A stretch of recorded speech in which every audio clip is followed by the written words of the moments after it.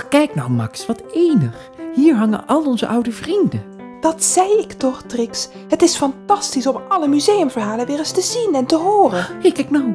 Willem van Oranje en, en daar mijn lievelingsstandbeeld. Wacht even, Trix, want volgens mij willen zij ook horen wat je allemaal te vertellen hebt.